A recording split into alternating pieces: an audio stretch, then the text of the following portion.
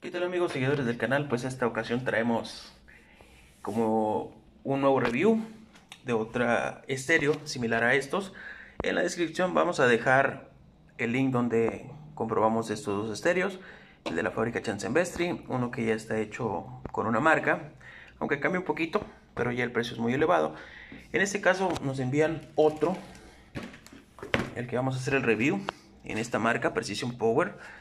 Lo único que estamos viendo diferente así a primera instancia es que este trae un sintonizador de AM y FM y los clásicos, tanto el económico, el famoso que le dicen estéreo chino y recalcamos en todos los videos, pues sí, dice hecho en China, no tiene una marca, pero recuerden que también Carbon Audio está hecho en China Precision Power, que también tiene una marca, pues aquí dice diseñado en USA, en Estados Unidos, pero está hecho en China.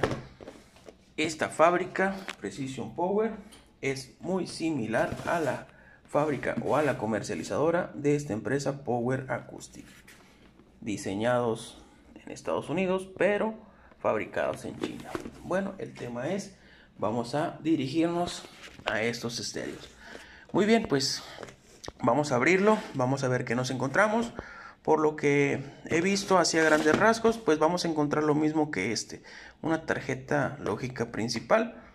Ahorita en lo que preparamos todo voy a desarmar este para mostrarlo, o más bien lo dejaré así como está, no voy a tocar estos, pero voy a dejar la descripción, el link para que vean lo que hay dentro de estos dos.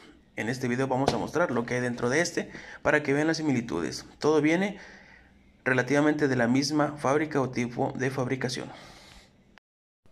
Muy bien, pues empezamos. Vamos a hacer el unboxing. Muy bien, pues nos encontramos aquí los arneses. Los arneses son muy similares. Los mismos cables, solamente corriente directa, corriente con llave azul para el remoto o amplificador, negro para la tierra y la conexión de bocinas la cual sigue siendo la misma que mostramos en el estéreo normal como el de la marca Steel Pro. Muy bien, pues vamos a ver acá. Tenemos un diseño. Vemos que es un tamaño no es ni el pequeño, el compacto de este, ni el grande como este, es un tamaño intermedio. Algo que nos agrada, este es una carátula fija, este es una carátula desmontable. En la parte trasera pues vemos el mismo diseño, las mismas conexiones, todo es similar a lo que vemos aquí. Vamos a voltear este, aquí también lo tenemos Listo. Vamos a desarmarlo para ver qué nos podemos encontrar. Muy bien, ya lo hemos desarmado. Vemos aquí pues una interfaz sencilla. Aquí solamente está la conexión, la interconexión con la carátula, ya que la carátula es la que tiene el lector de medios. Y pues podemos ver aquí en la parte trasera el circuito principal de lo que es el funcionamiento o para el funcionamiento de este estéreo. Aquí por lo que vemos, aún sin desarmarlo, trae el mismo, este, el mismo integrado que el de Vestri, que el Steel Pro, tanto como el hermano mayor o el de doble DIM, es el mismo integrado, el mismo circuito amplificado, que es el 7388, aquí lo podemos ver, TDA 7388 es el circuito más estable que hay a la fecha. Vamos a desarmarlo para mostrarlo. Es lo que vemos a simple vista. Ahorita lo vamos a confirmar una vez que lo desarmemos. Muy bien, hemos retirado el, protector y pues podemos confirmar visualmente lo que les decíamos por comentario, que es un TDA 7388. Trae el sistema MOSFET también, trae un estabilizador de corriente.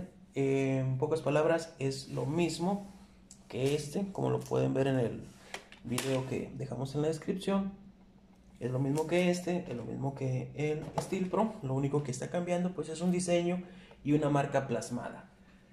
La diferencia, pueden ver, posiblemente van a ver un cambio algo más grande en esto, pero es por el sintonizador del AM.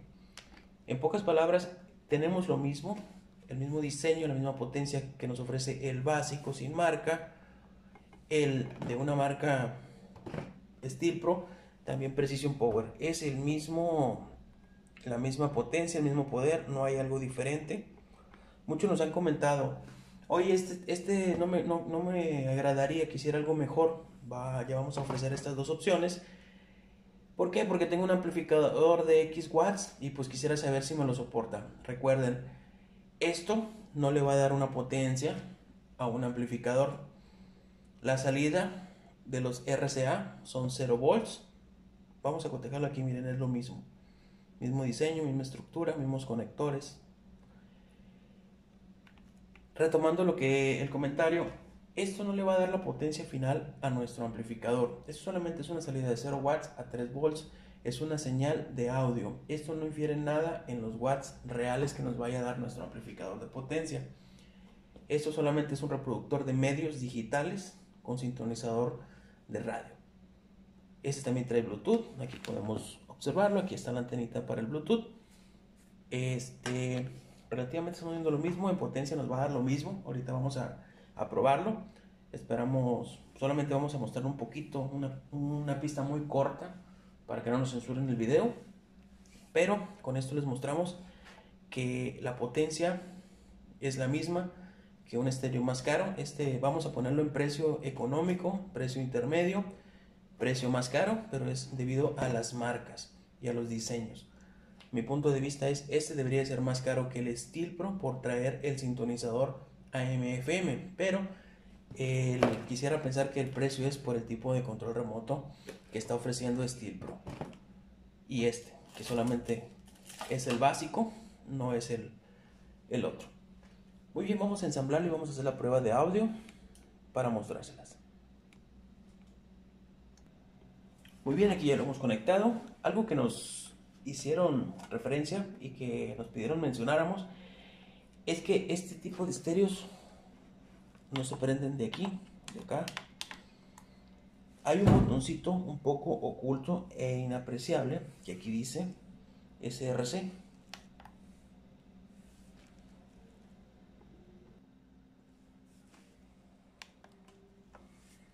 Así es como enciende. El menú es muy similar. Presionando tenemos ajustes de bajo, de agudo, balance, adelante atrás, un ecualizador, un refuerzo de bajos y demás detalles del estéreo. Cambio de colores. Muy bien, pues, ¿qué es lo que vamos a hacer? Algo rápido, una prueba con el Bluetooth, solamente para mostrar la potencia de salida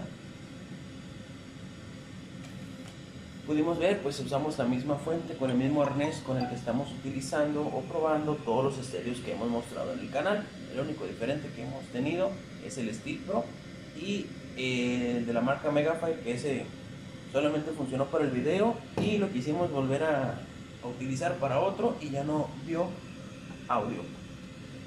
Muy bien, pues vamos a, a buscar en donde dice SRC nos vamos a la opción del Bluetooth. Vamos a poner una pista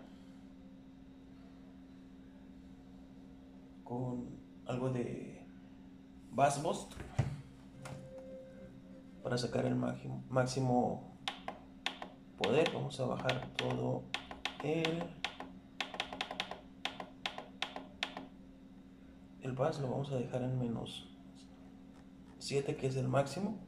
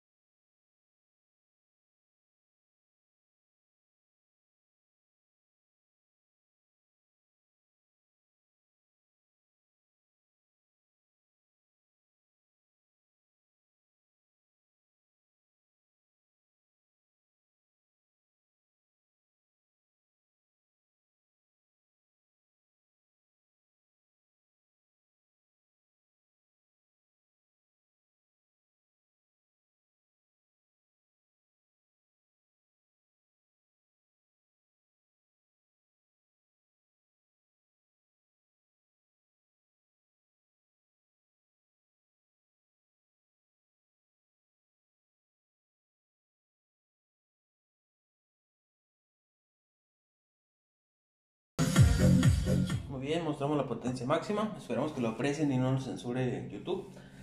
¿Con qué fin hicimos esto? Pues demostrarles, esperamos que se alcance a apreciar el audio. El audio es muy fuerte, es muy nítido, es claro. Esperemos que lo puedan apreciar. Yo siempre lo he dicho, un video nunca nos va a dar la apreciación al 100% de una pista de audio, debido a que nuestro tímpano tiene una recepción de frecuencias muy diferente a lo que es el sensor de un micrófono.